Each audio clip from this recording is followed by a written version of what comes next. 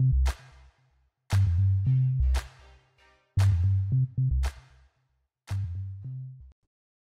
Hey guys, welcome to How to Do Computers. I'm Mike, and today we'll be going over how to do a bare metal restore on a Proxmox or Debian slash Ubuntu based server install. There does not seem to be a whole lot of options out there for bare metal restore for a Linux server. Most people recommend against an image based backup in favor of using something like Ansible or other similar softwares to store and rerun your configs in case of a failure, and to simply do a clean install. For this, we're going to be utilizing the free community edition of a software called Veeam. So getting this to work was a bit of trial and error, as the documentation is not very clear. I'm guessing that's the point of purchasing a license with support. That being said, I recommend trying this out in a lab environment before you deploy it onto anything important, just to make sure that it's going to work for you. At the very least, make sure to take a manual backup of some sort with something like Clonezilla. I won't be held responsible for any data loss incurred in this process. There are a few steps involved with this process, so I will make sure to document and attach all of the commands I use, as well as any necessary download links in the description below. So for this, we'll need a few things. One will be a Veeam account to download the necessary package. Then we'll need an SSH and an SFTP client. So first we'll go here to Veeam's website. It's a free account. I'm already logged in here as myself, but the account creation process is fairly straightforward, so I won't go over that here. Next, we'll need to grab an SSH client if we don't have one already. For this, I'll use PuTTY, and I'll go over why I'm using that here in a minute. And finally, we'll need an SFTP client, and for that, we'll use WinSCP, which can be downloaded here. Again, all of these links will be in the description. And then the last thing you'll need to do is once you have created and logged into your Veeam account, you'll go to this link here, and then you'll download a package for the Veeam agent for Linux. So scroll down here, you'll choose your operating system. In our case, since we're running Proxmox, we'll use Debian Ubuntu. Our architecture is going to be 64-bit, and then we'll click Get Link. So here we'll have two downloads. One is the repository package, which will effectively be a net installer for Veeam. The other will be a trial version for the Veeam backup and replication suite, so we won't be grabbing that now. And we'll go ahead and grab the repository package for Debian slash Ubuntu.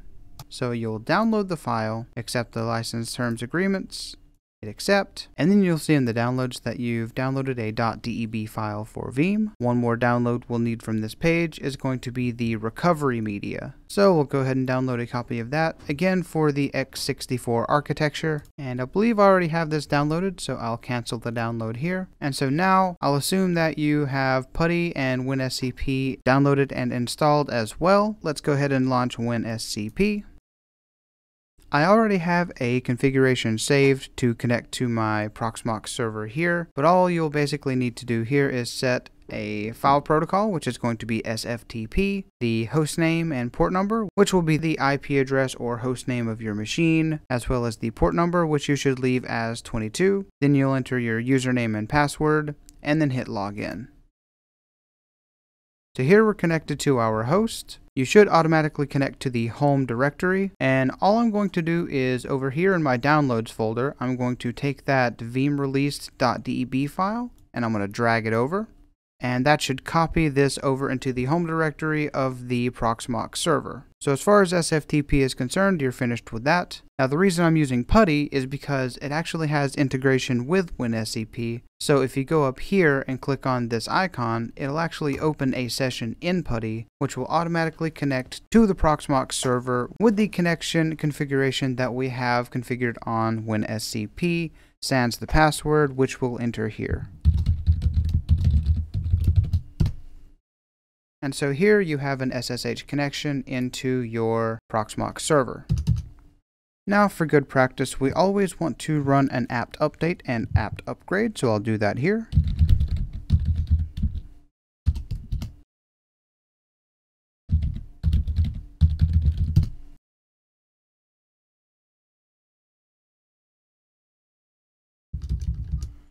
So now there's also a few packages that we'll need to grab. And for that, we'll use apt install, and then we're going to grab pve-headers, squashfs-tools, libisoburn1, and xorriso.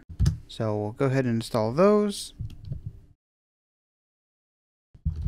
And now a very important step, as it turns out, we're going to need to install the current Linux headers, and for that we'll use apt-get install linux-headers dash dollar sign parentheses uname space dash r parentheses, and we'll run that. And then we will change our directory to the home directory or wherever you dragged the Veeam Debian package in our SFTP tool. And then we will install it with dpkg dash i period slash ve and if you hit tab it should auto finish the name of the file and then hit enter to install. Now we'll do another apt update.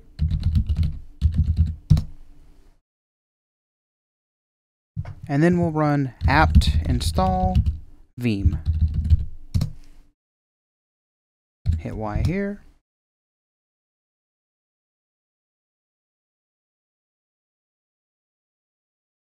And let's go ahead and clear our space.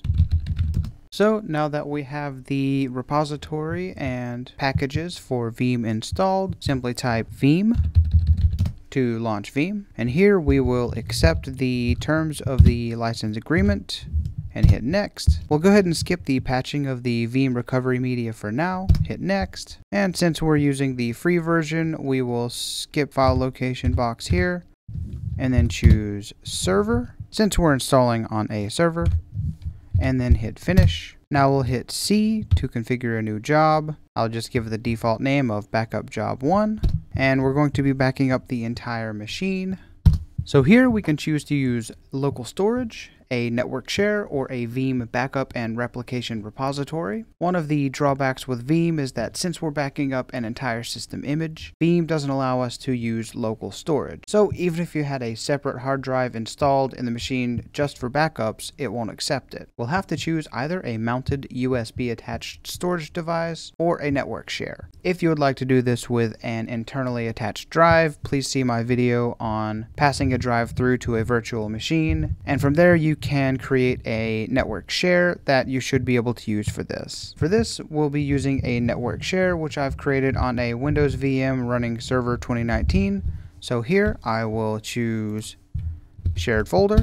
And of course, that's going to be SMB since we're using Windows. And the path is going to be 192.168.0.103. And then the directory is going to be PVE Veeam Backup. If the machine is joined to a domain, then you'll enter that here. This one isn't, so we'll simply enter the username and the password. And here you can set the number of restore points that you would like to keep. I'll leave that as the default 7 for now. This can be configured later. And then we'll hit next. Here you can set additional options if you like. Backup encryption allows you to encrypt the backup. Active full allows you to do a full backup every time instead of a snapshot. And scripts allows you to use the more extensive scripting functionality of Veeam. I'll leave all of these off for now and then hit next. And here you'll choose whether you want the job to run automatically and then the schedule you would like it to run on. This schedule will be automatically added to your cron tab file. Again, I'll leave this as default just for now and hit next. And then we'll go ahead and hit finish and it will automatically start the job as we do that. Job will be started and you can see that it is running. This may take a little while, so I will get back to you once the backup job has finished. So now that we have our Proxmox bare metal backup, we can test restoring in case of a complete drive failure. If you haven't already, go ahead and grab that ISO we mentioned before for the recovery media and burn it to a flash drive using a tool such as Rufus. Again, I have another video on how to create bootable media using Rufus. I will link that below as well. So we'll exit out of this machine, and then I will swap over to another blank machine to see if we can restore this machine onto that one. So now we are booting our machine with the recovery media. There will be an SSH server auto start if you would like to access via SSH. I'll proceed without that for now. Again, check the license agreements and continue. And then we'll go to restore volumes and we'll add that same shared folder from before, which again was 192.168.0.103 with the path of PVE Veeam backup, no domain, username, and then password. Enter to connect. And here we can choose the backup job that we had created before. I have a few others in this folder, but the one we created before was backup job 1. I'll go into that directory, and here there should be a .vbm file named after your backup job. Hit enter to open that file, enter again, and once more. And so here we have our current system, which is SDA, which is a completely blank hard drive. And then we have the partition structure of our backed up drive, which has our Proxmox install and all of the associated partitions. So again, I'll hit enter here, restore from, I'll choose SDA since that's the drive that Proxmox was installed to, and then S to start restore. Enter again, and the restore should begin. Again, this may take a few moments, so I will get back to you once that's complete. So now our restore is at 100%. The status says it was a successful restore. So we will hit escape to go back to the main menu and then we will reboot the machine. And so it looks like we are booting into Proxmox. Let's go ahead and go back and connect to make sure that everything looks right. Alright, we are back on our Windows machine, so let's go ahead and try to connect to the newly restored Proxmox server using the same address. It's coming up for us. Let's go ahead and log in. And it looks like our virtual machines and our storages are back where they should be. We are able to access everything as if we simply cloned the drive and restored that way. So I would call this a success, and I believe that will be all for now. As always, thanks for watching. If you have any questions or if you run into any issues, let me know in the comments below and I will do my best to assist you. Thank you and I will see you in the next video.